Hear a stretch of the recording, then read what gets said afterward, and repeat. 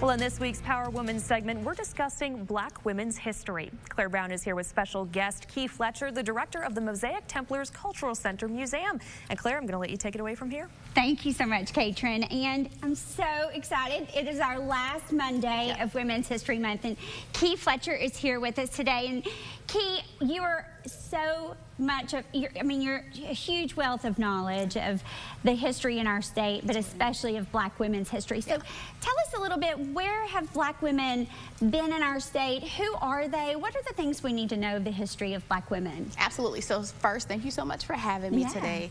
Claire, I always say you save the best for last. definitely. But definitely, I think when we talk about um, black women, uh, specifically in, in, Arkansas, but then more broadly as a whole in terms of American history, I think one of the things that we need to remember is that African American women have always played a part in laying the foundation of our country. Yeah. I think so often black women get typecast in the starring role of, of their lives, and oftentimes black women are seen in servant roles. Yeah. But when we think about the history of our country, you know, we think about people like Madam C.J. Walker, who was mm. the first self-made millionaire that was an African-American woman. Yeah. We think about Eliza Miller, who was here from Arkansas, also around the same time, around the 1860s is when they both were born. Uh, Eliza Miller started and actually operated the very first movie theater, a mm-hmm. black woman in Arkansas. And so I think when you think about African American women uh, as a whole, we've always been leading the charge, but we're not all often portrayed in that light. There's a wonderful Netflix documentary about Madam C.J. Walker yes. called Self-Made. I love it. It's amazing. I binged it recently. Yeah, it's really so good. Where are black women now? I mean, what is the the current status of black women in our state? I mean, I know some statistics of, of black women and, and small businesses and college graduates and how they give to our community, but tell us what that looks like. Absolutely. So black, this has been such an amazing time mm -hmm. for mm-hmm. African American women.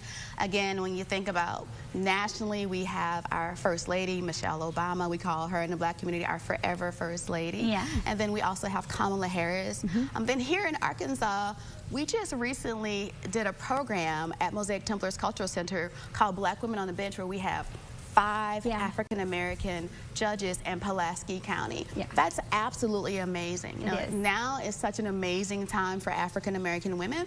And now we're able to actually talk about our own stories and share our own narratives, which is so very important. Mm -hmm. You know, we always say for every black woman that you see out front leading, like the judges, like Kamala, mm -hmm. like Michelle Obama. There's 25 black women you don't see yeah. who are holding them up, right. who are taking care of the children, who are making sure that they have what they're that that they have what they need, that they're clothes and that they're nails and that they're praying for them. They're right. taking care of their families. It's a whole idea of collective work and responsibility right. in the African American community. So I think it's we're at a very pivotal time for African American mm -hmm. women where we're actually able to tell our own stories. Yeah. And so what does the future look like for black women, especially here in Arkansas? And then how can we help build that community and support? Absolutely. So I just took my daughter on an HBCU tour, okay. and she got a chance to visit some amazing historically black colleges in Tennessee. And the beautiful thing about it when we got there, Claire, was that one of the ladies who was leading one of the tours was from Arkansas, yeah. and she was going to school to be a dentist. Mm -hmm. You think about that, over 100 years ago, there would not have been mm -hmm. an opportunity for an African American woman to be a dentist. There's so many opportunities for African American women in STEM. There's so many resources mm -hmm. that are out there for African American women. I think when we think about the history of African American women in our state, we know who we are. We don't need to be validated by anybody else.